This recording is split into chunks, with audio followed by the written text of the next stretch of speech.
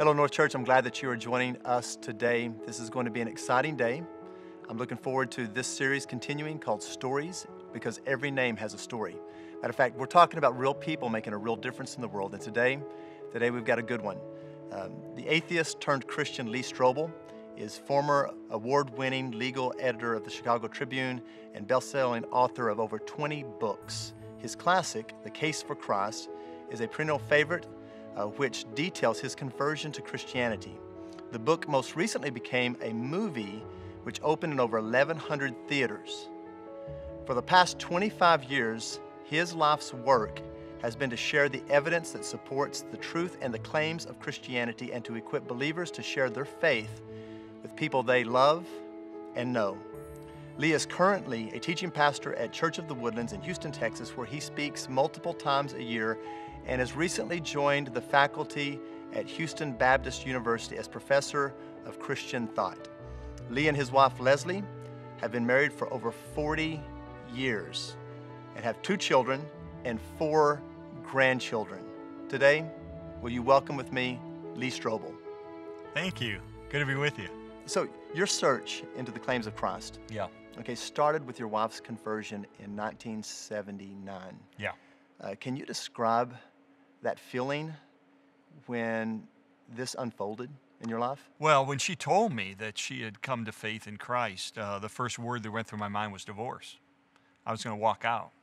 Um, I thought that it was a crutch. I thought that it was make believe, fairy tales, wishful thinking. I thought she was naive and gullible for buying into it. And uh, frankly, I, I, had no interest in being married to someone who would pursue something I couldn't relate to and, and, and didn't understand and wasn't interested in. I was an atheist at the time, so I was denying the existence of God. And uh, so I was, I was literally going to walk out um, and almost did, but stuck around. And um, it was really a lot of the positive changes in her character and values over time that encouraged me to ultimately begin to check into the faith. Now, when you you talk about Leslie Yeah. uh, in regards to that time, that had to have been challenging for her. Yes, very much so. Uh, there had to been some ups and downs, valleys there. Oh yeah, it was. Uh, we did a book called uh, "Surviving a Spiritual Mismatch." What do you do if your spouse is not a believer? Because it's a very difficult situation. Um, you know, she felt like she was very alone. Uh, she felt like she was going on this great journey of discovery, like as if you would go to Paris or Africa or these wonderful journeys, but she couldn't share it with me. She couldn't take me along. We couldn't talk about it. I wasn't interested. I would shut her down. Um, and, and, then it would cause a lot of arguments. You know, if I woke up in the morning and she was reading the Bible, I'd get into an argument about why she was wasting her time. Um, so it, it is a very difficult situation for both parties in a situation like that. And that's, you know, the Bible says don't become unequally yoked.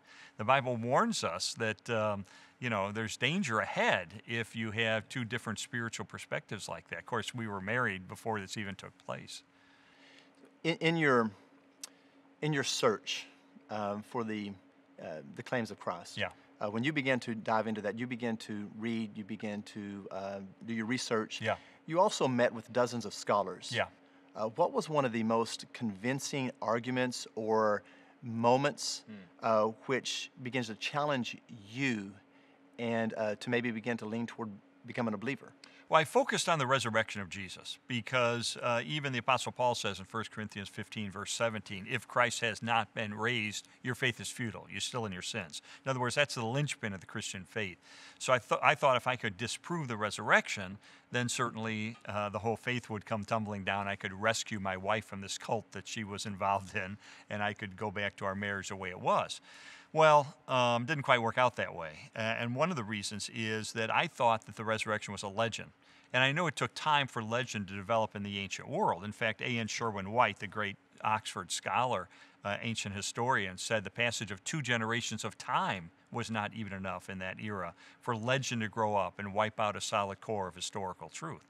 So I thought, you know, 100, 150, 200 years after Jesus, these legends began to develop, and that's where the idea of the resurrection came from. Well, one of the key bits of evidence that I found persuasive and, and influential uh, came from Dr. Gary Habermas, who's a resurrection scholar. And he pointed out that we have a um, a, a, a report of the resurrection in the form of an ancient creed of the church. It's found in 1 Corinthians 15, starting at verse 3. This says that Jesus died, he was buried, he rose again on third day, and then it mentions the specific names of eyewitnesses, including opponents and skeptics, and, and, a, and 500 people at once to whom he appeared. Well, what's important about that creed is how immediately it developed after the death of Jesus. Uh, James D.G. Dunn, one of the greatest scholars in this area, uh, has said that this creed can be dated back to within months of the death of Jesus. Well, that's far too quickly uh, to be a legend or, or mythology. And uh, as a someone trained in journalism and law, I realized that the immediacy of that report is very influential in telling me whether or not it was uh, reliable. Love it. You know, I, when it comes to the claims of Christ and his deity, Yeah. there's some of those things that, well, it's the virgin birth, really? I mean, who, who knows? Yeah. Uh, the miracles, well, other people have done miracles, Yeah. and maybe sleight of hand, whatever. But when it comes to that resurrection, Yeah. I, you're, you're being able to focus in on that one thing, which was so important, Yeah. which is the crux because it validates everything else. It does. And, you know, Jesus claimed to be the Son of God. Um, and yet, the resurrection was that which kind of validated that for us and, and said, you know, anybody can claim to be the Son of God. You could, I could, anybody could. But if Jesus claimed to be the Son of God, died, and then three days later rose from the dead, that's pretty good evidence he's telling the truth. yes, yes. So in, in the book, The Case for Christ, um, and the movie, they seem to take different paths. yeah. Uh, one focuses on the logical arguments uh, that was the foundation of your conversion, uh, while the other focuses more on the story behind the book. Yeah. Okay? In fact, it mainly seems to focus on a husband and wife story. Yeah. Why did you decide to tell, or why did they decide to tell the story this way? Well, um, because that is the story, and you know, uh, humans don't exist in vacuums, and uh, this was a dynamic situation with relationships and friendships and a marriage involved, children involved, and so forth. So um, we wanted to tell the entire story and um, kind of unfold it uh, as best we could. Of course, in movies, there's some time shifting involved and there's some composite characters and so forth. But as best we could, we wanted to tell the story with all the relational dynamics, um, mainly because um, uh, people can relate to that. A- And, um, you know, it's not as, you know, we could do a documentary and just do the evidence, and which we did. We did a documentary based on the book in 2004. And uh, that's one way to approach it. But we wanted to do a film that would reach out to non believers, to people who don't go to church, to people who won't read a book, uh, who are spiritually confused or curious, uh, so that they would kind of get involved with the story and through the story see some of the evidence that I found convincing. So good. You, you know, in the movie, you're portrayed as a hot tempered, drinking um, individual. Yeah. Is this true? Um, and then what happened? How did your life change from this hot tempered drinking person to who you are today? Yeah, I mean the movie's embarrassing on a lot of levels because it shows my life before I was a Christian, and I, am not proud of my behavior uh, in that era of my life. I was successful in my career um, at the Chicago Tribune. I was writing books. I was doing television things. I was um, on the front page of the Tribune several days a week. So I was successful, but behind the scenes, what people didn't see was me literally drunk in the snow in an alley on Saturday night. So, uh, you know, I would, uh, I was a heavy drinker. I was uh, hot tempered, as you say. I was a narcissist. I was self absorbed, uh, self destructive in many ways, um, angry in many ways. Uh, I mean, that was my life. That was who I was. And, um, uh, you know, after I came to faith in Christ, um, by His grace, uh, I stopped drinking like that. And I, I, say that hesitantly a bit because there are people who come to faith who have a drinking issue in their life, and it's a struggle for a long time. And I understand that. And, and so, um, in my case, it was an instantaneous uh, healing of that desire to drink. And, um, um, you know, my values, my character, my morality, my worldview, my philosophy, my priorities, my relationships, my marriage, my parenting. I mean, all those things over time um, began to change for the good after I came to faith, after the Holy Spirit took up residence in me, uh, after God began to reorient uh, my desires and, and, and my, uh, and my heart and my soul. In a recent article, uh, you mentioned that uh, some of the scenes really hit home for you in the movie. Yeah. Uh, you say, quote, uh, there are some scenes that we get emotional about because it ripped, it was ripped from our lives. Yeah. Like a transcript. One in particular was a scene in the car where you tell your wife that you don't think you can re- remain married to her while she remains a Christian. Can you describe this scene for us and the feelings behind that? Yeah, I mean, some, several of the scenes like that one are ones that are just um, almost verbatim from what occurred. And, you know, I, I was uh, very angry toward her faith for a lot of reasons. Uh, first of all, I felt like I was, um, she was cheating on me with Jesus. All of a sudden, there was another man in our marriage who she looked up to, she worshiped, she loved. Well, where does that leave me? And, and, and I thought I was the one to provide that kind of emo- emotional support. So, as weird as that feels, I felt like, or it sounds, uh, I felt like she was cheating on me with Jesus. Uh, I felt like um, uh, she was being pulled into a Christian subculture where I wasn't welcome as an atheist. Um, I felt like she was judging me for my lifestyle, even though she really wasn't. But I, it, it's as if she was holding a mirror up to me. And the more she lived a life of holiness, the more she lived a life of purity and, and, and, and um, commitment to God, it was as if she was holding up a mirror. And in contrast to that, I was seeing my own life and how it was corroded by sin and immorality. And I didn't like that. It made me mad, made me angry. I thought I liked to see myself as a great guy, but I was seeing the, the real me in contrast to her. Uh, that made me angry. So we had all these emotional dynamics going on in the midst of this. She want how we raised our children, how we are going to spend our money. Those were all in conflict now. Um, so there were a lot of those kind of dynamics going on, and and um, uh, you know scenes like that one in the car where I basically said, "Look, I'm not going to be doing this five years from now. I'm not going to be doing this two years from now. Um, if you continue down this road, count me out." Uh, um, you know, as embarrassing as it is to talk about that and confess that, that's the kind of attitude I had. In the movie, your character is challenged by the idea of a, um, a father wound. Yeah. So, talk to us about um, the relationship, maybe. Um, your father played uh, with your struggle Yeah. um, and, and, and the journey of being able to understand a Heavenly Father who loves you. Well, it's interesting that Paul Vitz, who is a psychologist at New York University, did a study a number of years ago in which he looked at the lives of all the famous atheists through history Camus, Sartre, Nietzsche, Freud, Voltaire, Wells, Feuerbach, uh, O'Hair. You just go down the line. Every single one of them had a father who either, either abandoned their family when they were young, or who died when they were young, or with whom they had a very difficult relationship. And the implication is, and Freud commented on this, the implication is that if your earthly father has disappointed you or hurt you in some way, you don't want to get to know a heavenly father because you think he's going to be worse. So, in my own case, I had a very difficult relationship with my dad. And actually, one scene was cut from the movie, and I'm kind of glad it was because it was such a tender, uh, difficult uh, moment in my life. I, I would hate to relive it every time I saw the movie, but um, I did some things behind my dad's back, and and he caught me. And uh, on the eve of my high school graduation, we had a big blowout argument, and he looked at me and said, "I don't have enough love for you to fill my little finger." Um, so we had a, a real broken relationship. And uh, was that a factor in me walking down the path toward atheism? I think it probably was.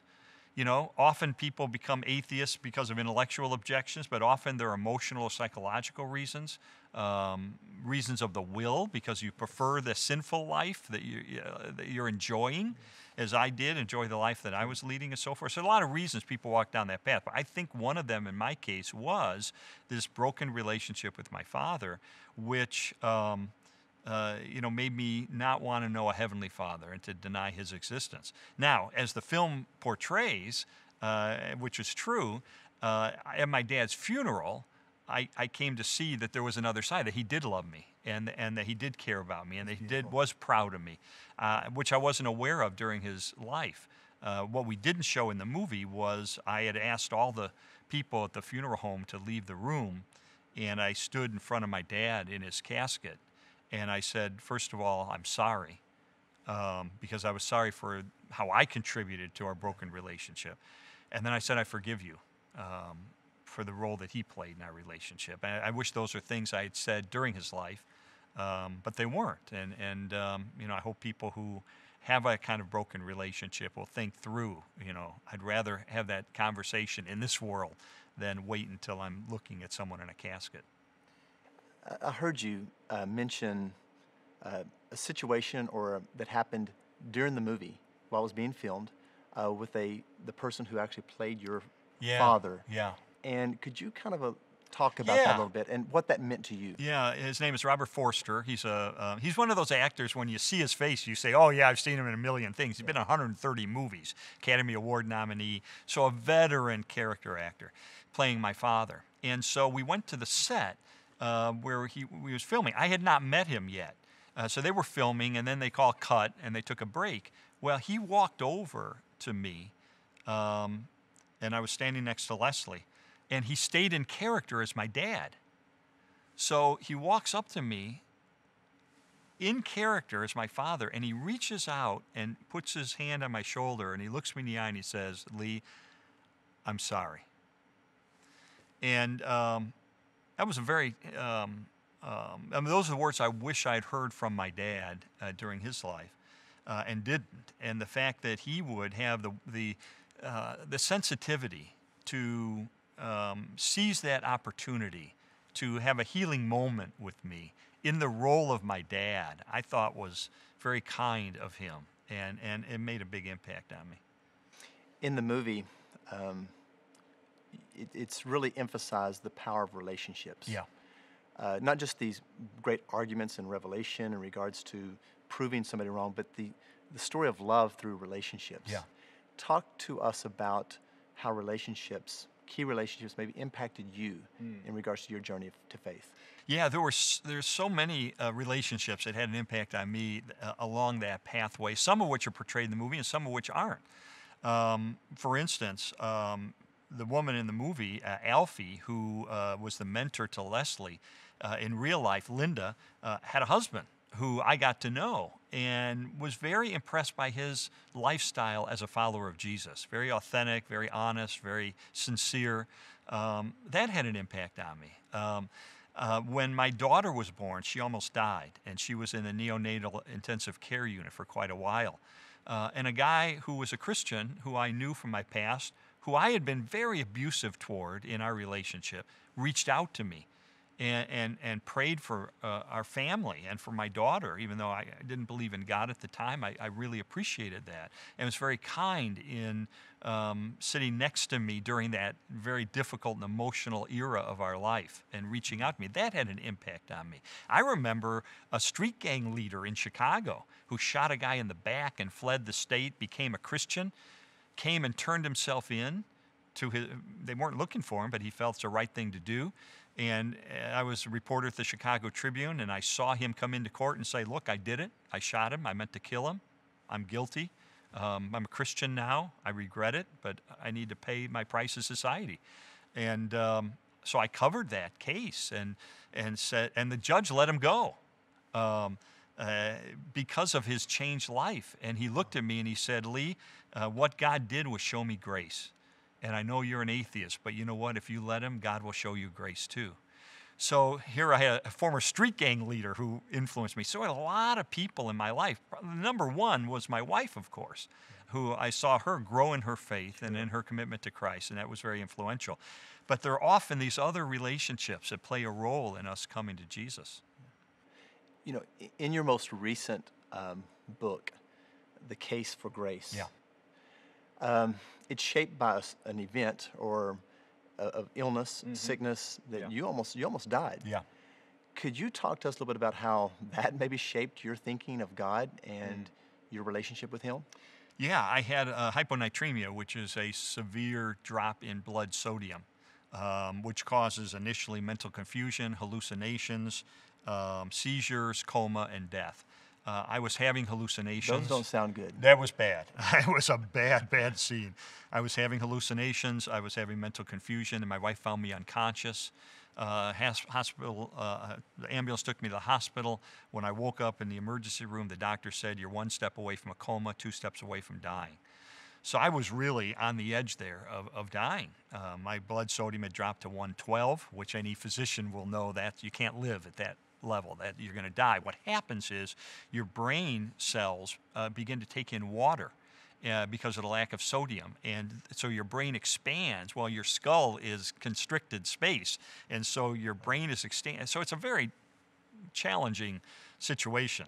Um, and my son, in the midst of that, who is a PhD in theology, uh, came to me and said, Dad, I, I know you're confused. I know you're um, struggling. And I said, I am. And, and um, uh, I, I felt like I was distant from God in the midst of this. I, I, I, didn't, I couldn't draw close to God. And he, he led me in a prayer experience. It took about half an hour where I emptied all of who I was before God and just walked through and said, God, I'm not a father. I'm not a grandfather. I'm not an author. I'm not a husband.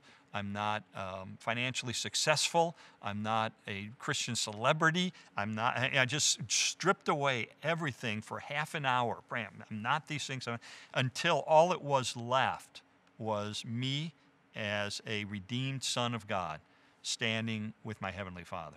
So and so at good. that moment, reconnecting on a very deep level uh, that, that was profound to me. And I look back on what was a very difficult year and I say, Thank you, God, for taking me through that struggle and that difficulty and near death experience because the result was my connection with God um, was. Um, you know, stronger, made stronger through that experience, so that even today, um, I still go through that kind of exercise and try to come before God uh, and strip away all the worldly things. I'm, I'm not okay. my bank account. I'm not my, you know, uh, I'm, I'm, I'm just a redeemed son of the Most High and, and relate to Him uh, as my Heavenly Father. Good.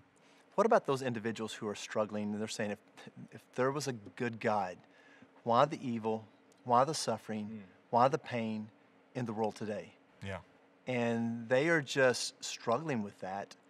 Uh, and, and um, yeah, and it's an age old. It's been around for years. Sure. I've, I've heard it all my life. But what what do you say to them? You know, um, it's it's easy to say God can bring good out of evil and good out of suffering. I was just mentioned about my own sickness and illness, how God brought good out of that. But when you think of the fact that God took the worst thing that ever happened in the history of the universe, which is the death of the Son of God on the cross, the worst thing that could ever happen, and he turned it into the best thing that could ever happen, which is the opening of heaven to all who follow him. So that means he can take whatever struggles that we are going through and Romans 8:28 says, if we're faithful to him, if we follow him, uh, he will cause good to emerge in this world or the next world, however it is. He is going to be faithful to that promise.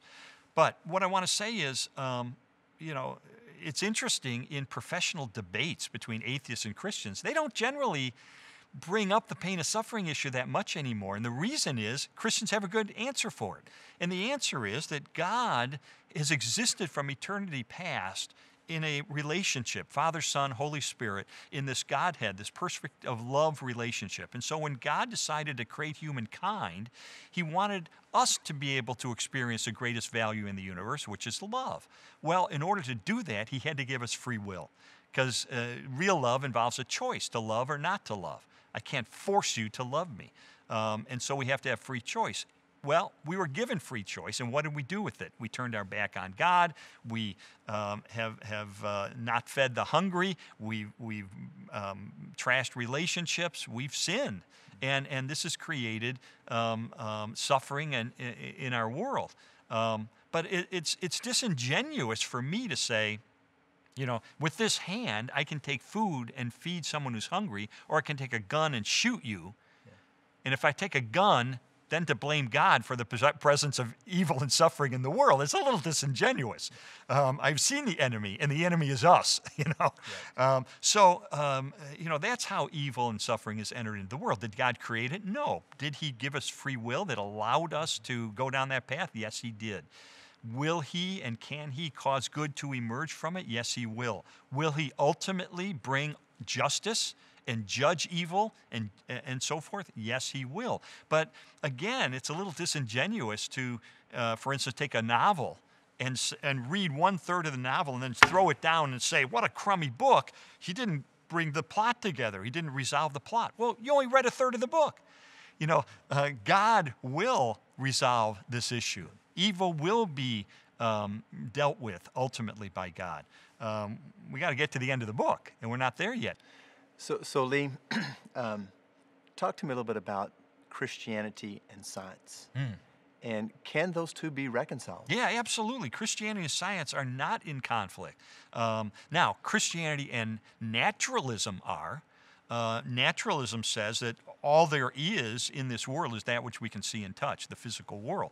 Well, uh, first of all, that's a self refuting statement. Um, but, but second of all, uh, that is saying in advance God does not exist. All that exists is, well, of course, there's going to be conflict with um, Christianity if you come to the conclusion at the outset that God does not exist. But science itself um, does not point away from God, science points toward God.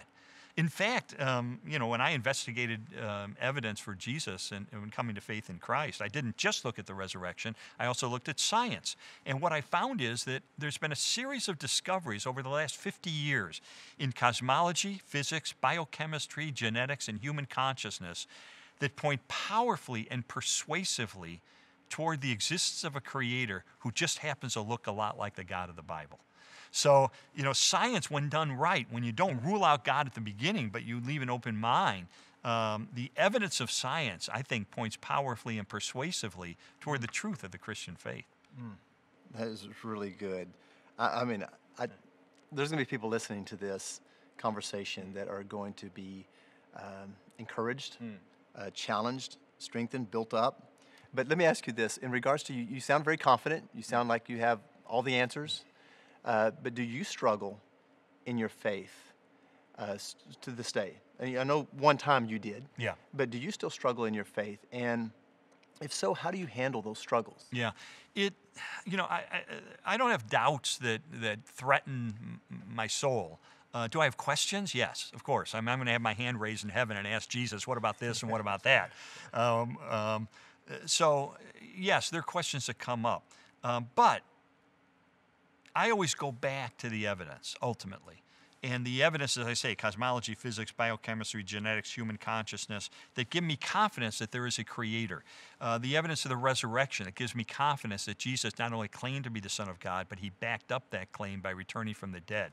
I go back to that evidence to remind myself that my faith in Christ has a solid foundation uh, that is built not on wishful thinking, not on make believe, not on legends, not on mythology, but on a solid foundation of scientific and historical truth. And, and so when I have a question or a doubt that comes up, I go back to that to remind myself of that. And then I like to seek out um, uh, uh, you know, godly and, and, and brilliant people uh, who can shed some light on those things. And, and there's some incredible resources these days to be able to do that. I did a book called The Case for Faith, where I went out and I interviewed uh, great scholars on the top eight objections to Christianity. And uh, that was a boost, boost to my faith to be able to go out and, and to hear them answer questions like why does a loving God allow pain and suffering? Why would a loving God send people to hell? Um, uh, how can Jesus be the only way to God? And these, these, these difficult questions of faith. So, um, you know, I, I think we have to go back. What, what is the foundation of our faith? It's not our feelings, uh, it is the factual foundation of who God is and who Jesus is. Difficult times um, are going to come to all of us. Yeah. So, uh, talk to me a little bit about you know your difficult times as an atheist, how you handled them, versus now as a follower of Christ. Oh man, there's uh, no in the difficult times. Yeah, there's no comparison. I mean, as an atheist, um, you are ultimately on your own. You're, you're unanchored from any real help. Uh, people can sympathize with you, but if you are diagnosed with a terminal illness, uh, or you're diagnosed with something or whatever, they're not going to be able to really ultimately um, bring you uh, comfort beyond just trying to make you feel good in the moment. Um, so, you know, atheism is ultimately a bankrupt philosophy that offers no hope. And you know what? I'm willing to believe it if it were true. In other words, yes, it's a bleak picture. There is no hope. Uh, ultimately, when you die, that is it. Um, that's a bleak picture.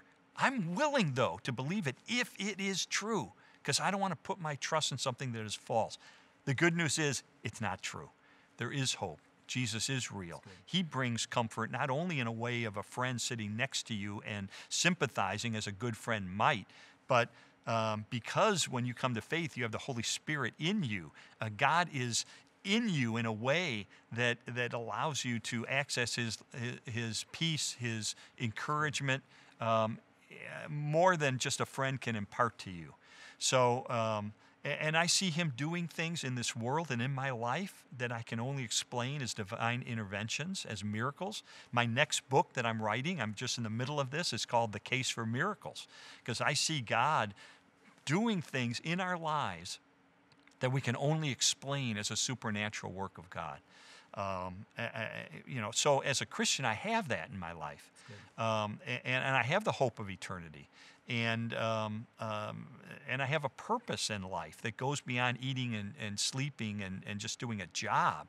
Uh, but God's given me uh, a role to play in telling others this good news that brings hope and eternal life. And so, so uh, you know, it's a night and day uh, experience. I would I would uh, never trade uh, the richness and the robustness and the joy and the adventure of being a follower of Jesus mm. with what had been a very bleak uh, um, uh, existence as an atheist. Mm. So, Lee, what does Jesus mean to you? In your own words, tell us about what Jesus really means to you. Well, uh, he is the unique Son of God, and that means there is no other. Uh, that he is the only path um, to restore relationship with God through his suffering and death. He offers forgiveness as a gift of his grace. And when we receive that, we come into a relationship with him. The Holy Spirit indwells us. Um, we have hope of eternity. We have the guidance of Scripture and of God's wisdom in our life. Uh, we feel him guiding us and leading us through life. Um, um we have a source of comfort. Um, we have a source of joy, of peace. Uh, he brings, you know, one of the things that I think is fascinating because of our relationship with Jesus Christ, because of uh, the Holy Spirit's work in us, Galatians says we can experience more and more over time the very nine things that all of us want in life love, joy, peace, patience, kindness, goodness, faithfulness, gentleness, and self control. Those are the very nine things that most of us are looking for in life. And God says, I will manifest those things, those qualities in your life uh, over time as you faithfully follow me. So, um, you know, and, and now to see not only God changing my life and not only changing my uh, children's life, but now my grandchildren. And to see my little granddaughter. Yes uh, who went on her first missions trip at age 10, uh, where they slept in sleeping bags in a church basement in a very poverty stricken community and reached out and did evangelism with the children in the community. And at age 10, uh, she led her first um, little girl uh, to faith in Jesus Christ. And so I, I look at you know, God's saying, I'm not going to allow you to pass a broken baton like in a race, uh, you know, Good. to a next generation. It's going to be, a, a, a, you know, a baton that is, is solid and so forth. And so to see now this next generation finding faith in God, finding purpose, finding hope, finding encouragement, finding a reason to live, and, and, and an encouragement to know that um, she's adopted as God's child forever, uh, and watching that play out uh, in the next generations, uh, you know, that's what Jesus means to me. He means a transformed life in this world and then confidence of a relationship with Him forever in heaven. Lee, would you mind wrapping us up by maybe giving a, giving a call to Christ? Sure. And then you give that call to Christ, then wrap us up in prayer. Yeah. Uh, for all of those who maybe choosing to follow Jesus? Yeah, I'd be I, would love to. You know, uh, the verse that uh, uh, really was pivotal in me coming to faith, after I did all this research and came to believe that Jesus is who he claimed to be, I realized that's not enough just to understand that. Um, John 1.12, and you referenced this earlier, but as many as received him, to them he gave the right to become children of God, even to those who believe in his name.